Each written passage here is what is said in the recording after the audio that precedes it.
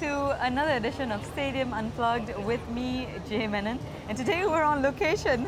It is a very funny one. It's Loftus Road, but right here in Kuala Lumpur. And the reason for that is, of course, who we have in the hot seat today. This man may have started out as an auditor with Virgin Atlantic. He then went into the music business with Warner Music. Subsequently, he went on to start a budget airline and now has a hotel chain based on the same no-frills concept. In addition, this avid sports fan is also president of the ASEAN Basketball League, principal of Caterham Formula One team, and chairman of Queen's Park Rangers Football Club. He has been honored in Malaysia as well as Japan, France, and England. Welcome to Stadium Unplugged, Tony Fernandes. Now, I have to tell you, I've been hunting you down. You're a very, very busy man. Now, you're on the, you know, the right side of 40. You've done so many things. I want to take you back to when you were a kid. Did you ever think you'd, you know, you'd be the person that you no, I mean you dream, and you know if if you'd asked me what do I want to achieve in my life, Formula One, football, and own an airline and be involved in music, that would have been my perfect scenario. Did I ever believe that I would get involved in No. So I'm a lucky guy. Um, it's been a lot of fun. Okay, now taking you back to when you were a child. Yeah. What kind of kid were you? Were you, you know, running around? You did, did you like sport? Yeah, I love sport. Uh, sport was my life, along with music um, in a different body. any excuse to play football, any excuse to play hockey. Uh, I, I, love sport. It was a very big part of my life. Big favorite sport that you say, okay, this is. Well, football was my favorite sport, but I went to school in England where they didn't play football. So that was a major blow in my life. You didn't play football in the school No, in the school I went to, no, it was rugby, hockey and cricket. Okay. But I adapted, I loved rugby as well. So, uh, but football has always been my favorite game, by far. Now, um, you know, I was reading your biography. We've got some similar, you know, situations. Indian family. um, father's a doctor. Uh huh. Was that ever put on you, like, oh, you know? Yeah, yeah. From the moment I came out of my mother's womb, I think I, was, I, had a stethoscope around me. Yeah, so yeah. I was supposed to be a doctor, but uh, I had no intention.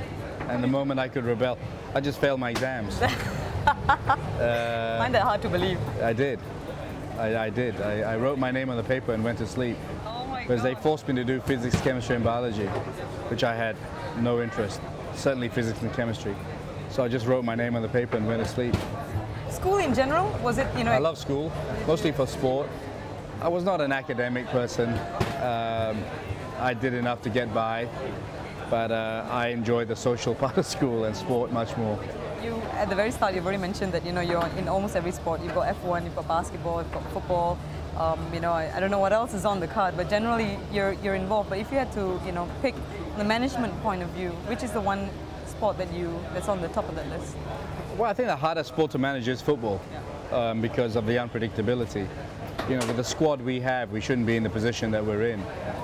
Um, but you can't predict players getting injured. You can't get predict players getting sent off and uh, you know that's just one of those things that happens, right? So Formula One is more predictable. Of course, mechanical things happen, but and basketball, you know, has been fairly easy to manage. But uh, football has been has been an up and down. You know, on Thursday I was like on a super high, and then you lose on the Saturday, right? I, mean, I hate Saturdays now because there's so much pressure. So don't you know? call Tony on a Saturday. Building up towards the game, you know it's, uh, it's, it's tense. Okay.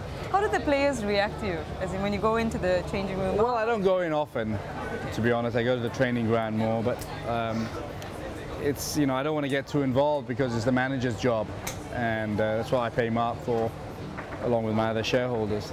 But uh, I, you know, I, I enjoy meeting them. I enjoy talking to them. Uh, but I, I'm not, you know, I don't get involved in the playing side at all. Your life, at least in my opinion, is almost a mirror image of uh, Sir Richard Branson's life. He went from you know music into sport. You also went from music into sport. Um, and there's a lot of you know flamboyance about how you do it too. Is he someone that you you look up to, or someone that is? A well, he's, he's much he's in a different league from me. I mean, I, I'm not even trying to emulate him. I have no intention of going a balloon at 36,000 feet or and try and cross the Atlantic Ocean. Um, and you know, no, I don't, I don't try and emulate him because I can't. And I don't think you can emulate anyone. You got to be yourself, right? Because you'll end up screwing it up. so no, you know, we work together. We have some similarities, but we're also very different. Did you have an idol growing up? Did you have one person that you All think right, historically, you, be, you meet a lot of people, uh, you read a lot. Uh, uh, there's not one person that comes to my mind. People like ancient history, like Alexander the Great and stuff, were were guys who believed in democracy. I'm a big believer in democracy. I'm a big believer in freedom of speech. Uh, I'm a big believer that race and religion are the biggest problems the world faces. Uh, and uh, you know, back before Christ, this man kind of had it. He didn't live very long, but he achieved a lot. Yeah. Alexander the Great. um, all right. Uh, You by surprise? I know, totally. More to come on Stadium Unplugged with Tony Fernandes, including Life is about opportunity, and you make your chances and you lose them, but you never dwell on the past. You move on.